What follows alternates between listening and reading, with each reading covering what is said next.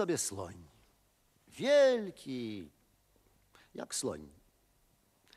Zwał się ten słoń Tomasz Trąbalski. Wszystko, co miał, było jak słoń, lecz strasznie był zapominalski. Słoniową miał głowę i nogi słoniowe, i kły z prawdziwej kości słoniowej, i trąbę, którą wspaniale kręcił. Wszystko słoniowe, oprócz pamięci. Zaprosił kolegów słoni na karty na wpół do czwartej. Przychodzą, ryczą, dzień dobry kolego.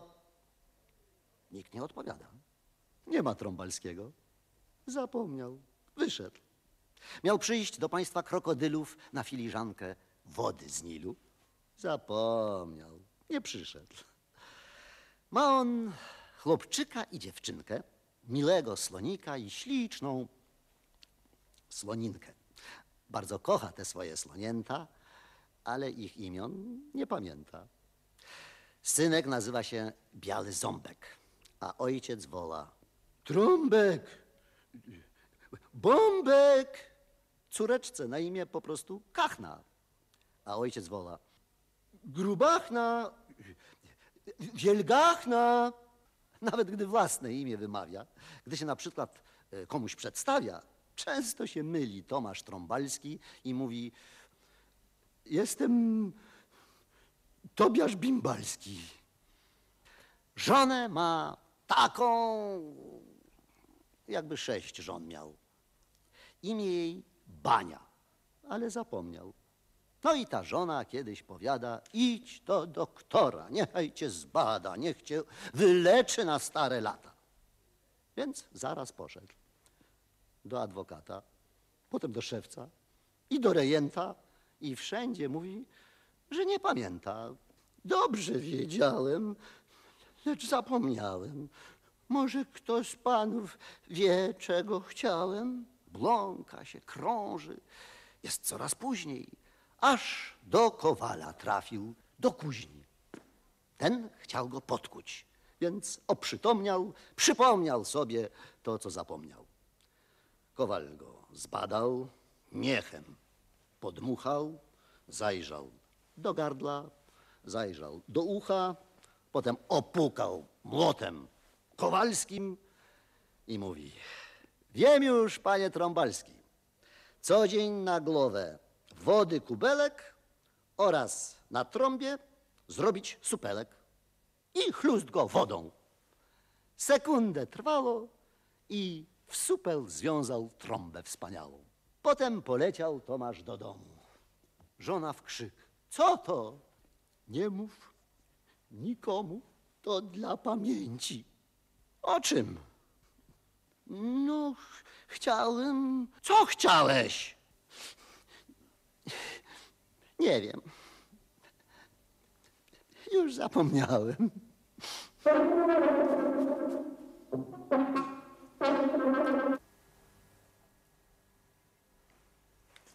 Przyszły do fryzjera dwa jeże.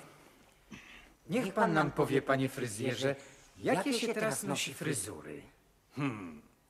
Jedni się czeszą po prostu do góry, mm, drudzy znowu z przedziałkiem, a inni golą się aż do skóry i chodzą bez włosów całkiem. E, Niektórzy czeszą się jak Włosi. A grzywki? Grzywki też się nosi. A loczki? Loczki można także. A pukle? Nosi się także, a jakże. A fale? Zwolna powracają. A baczki? Rzadko, lecz bywają. A czy na jeża ktoś się czesze? O, proszę panów, całe rzesze. A pan uważa, że to modne. Nie tylko modne, lecz wygodne. Więc nas nie trzeba dzisiaj strzyc. Moim zdaniem nic a nic. To niech pan chociaż, wie pan, tak z bliska wodą kolońską nas trochę popryska. Ps, ps, ps, ps, ps, ps. Dziękujemy za to spryskanie. Do widzenia. Moje uszanowanie.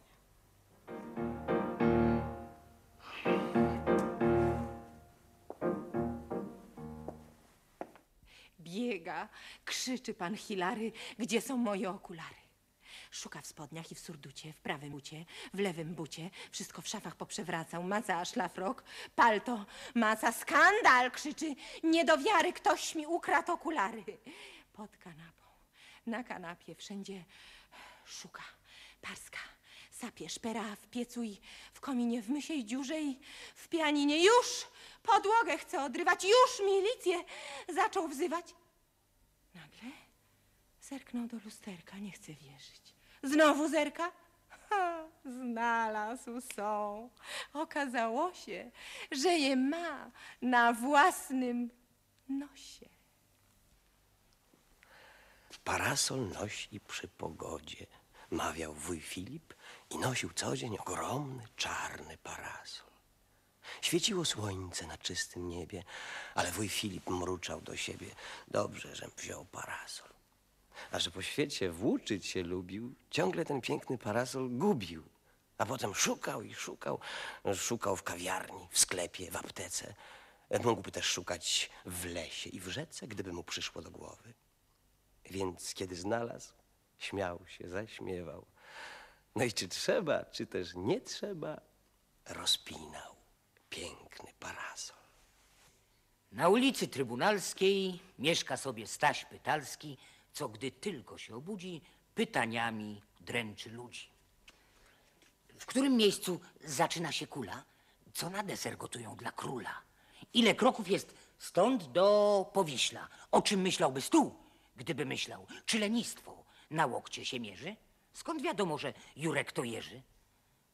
Kto powiedział, że kury są głupie? Ile much może się zmieścić w zupie? Na co łysym potrzebna łysina? Kto indykom guziki zapina? Skąd się biorą bruneci na świecie? Ile ważą dwa kleksy w kajecie? Czy się wierzy, nie mówię na słowo? Czy jaskółka potrafi być krową? Dziadek już od roku siedzi i obmyśla odpowiedzi.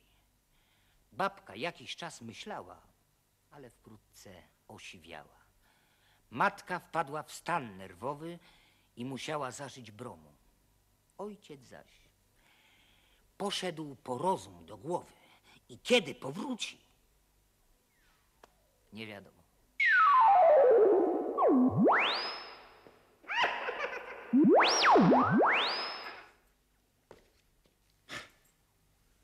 Pojechał Michał pod Częstochowę.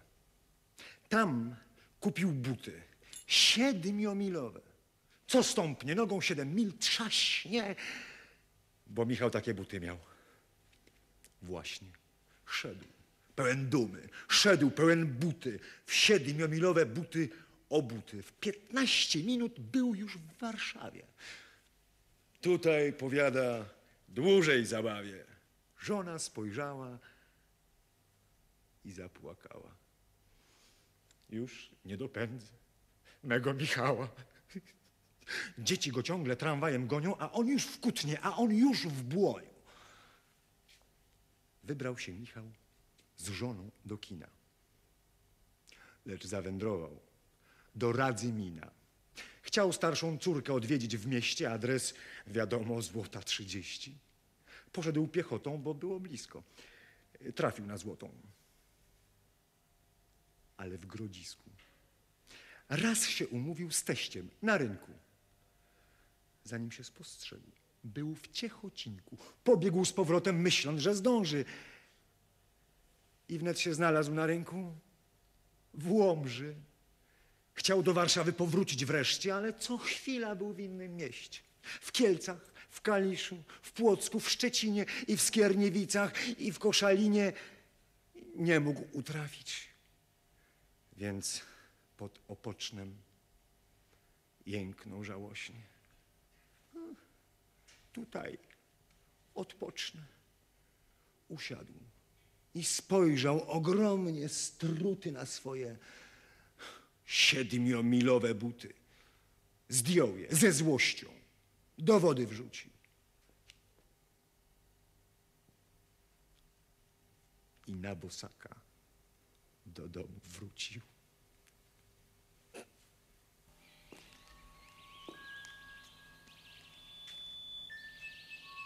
I cóż powiecie na to, że już się zbliża lato? Kret skrzywił się ponuro. Przyjedzie pewno furą. Jesz się najeżył srodze. Raczej na hulajnodze. Wąż syknął. Ja nie wierzę. Przyjedzie na rowerze. Kos gwiznął. Wiem coś o tym. Przyleci samolotem. Skąd znowu? rzekła sroka. Nie spuszczam z niego oka. I w zeszłym roku w maju widziałam je w tramwaju. Nieprawda. Lato zwykle przyjeżdża motocyklem. A ja wam to dowiodę, że właśnie samochodem. Nieprawda, bo w karecie, w karecie, cóż pan plecie. Oświadczyć mogę krótko, przypłynie własną łódką. A lato przyszło pieszo. Już łąki nim się cieszą i stoją całe w kwiatach. Na powitanie lata.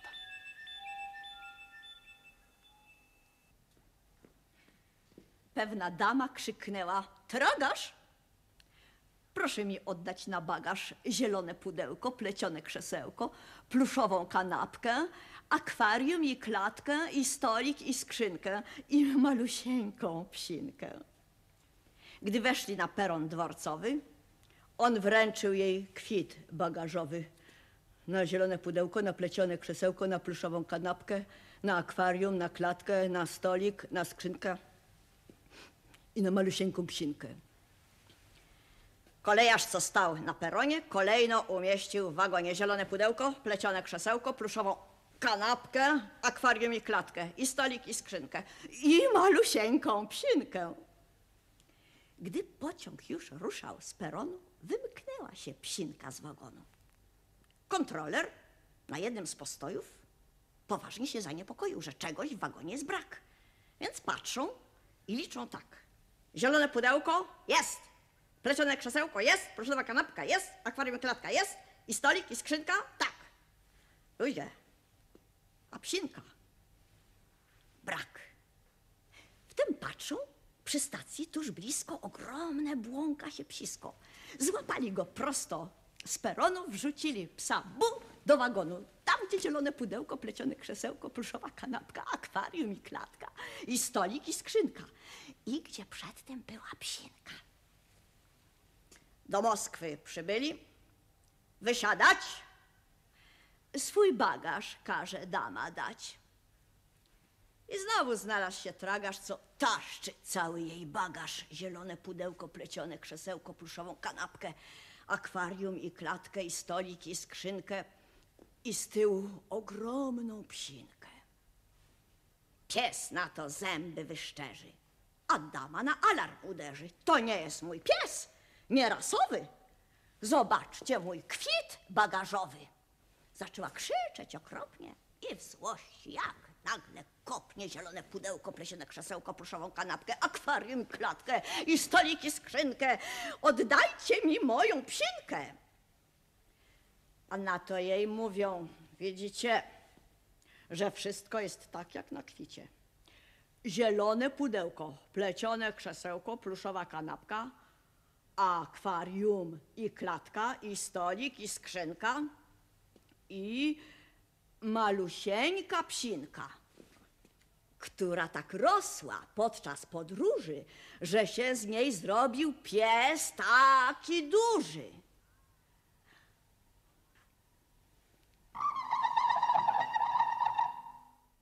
Przyszła pewna żyrafa w niedzielę do fotografa. Czy to pan robi zdjęcia? Ja. Czy ładne są te zdjęcia? Ba, I tak sam pan je robi? sam A ma pan aby kliszę? mam, A nie pęknie ta klisza? nie ma mowy. A objął mnie pan całą? Nie, do połowy. A co będzie z drugą połową? Zdejmę osobno. Czy za tę samą cenę? Nie, za dopłatą drobną. A na jednym zdjęciu się nie da? Wykluczone. To trudno, niech pan robi. Pstryk. Pstryk. Zrobione. A teraz? Teraz zlepię te zdjęcia najlepiej, jak potrafię. I wręczę pani za chwilę wspaniałą fotografię.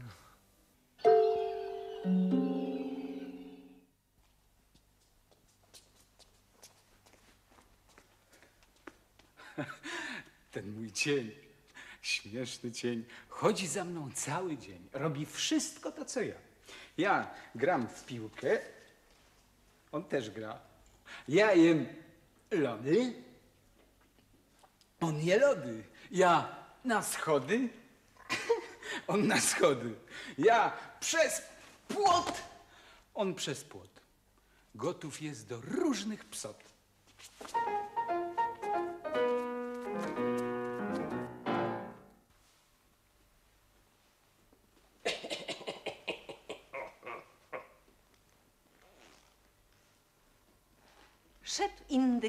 Wolską.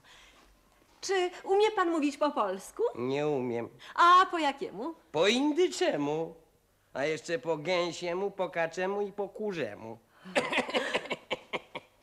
A czemu jest pan taki srogi? Bo chodzę po ulicy i mokną mi nogi.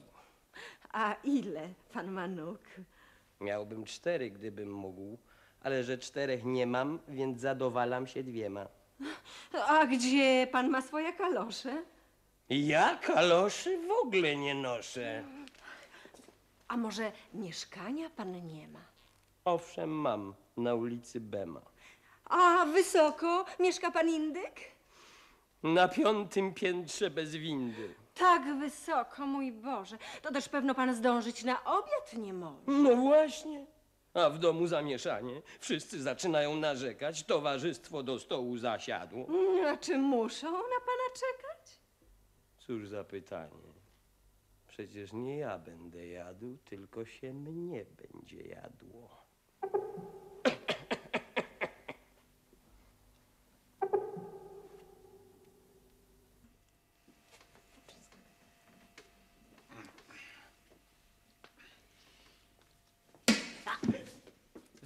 Zwierzęta także mają sny. Na przykład taki koń śni, że ma ptasie skrzydła. Albo że wielki jest jak słoń. Za to słoń ogromny, co to ledwie przez bramę przecisnąć się może, śni, że jest mały jak myszka i chrupie chleb w mysiej noże. O. A myszce znowu śni się, że jest większa, silniejsza od kota i goni i pędzi koty po strychach, po drzewach, po płotach. Inne znów sny mają taki, szczególnie te małe, najmniejsze. Takiemu wróblowi śni się, że jest od brony silniejszy. Że kiedy kto sypnie okruchy i ptactwo różne się kłębi, wróbelek jest wróblem ogromnym. Rozpędza stado gołębi. A ryby? We śnie śpiewają, znają niejedną piosenkę. Stoją na brzegu, nad rzeką i gwiazdy łowią na wędkę. Jednemu tylko misiowi, gdy snem zimowym śpią misie, nie niebieskie migdały, lecz słoik miodu słodziutkiego śni się.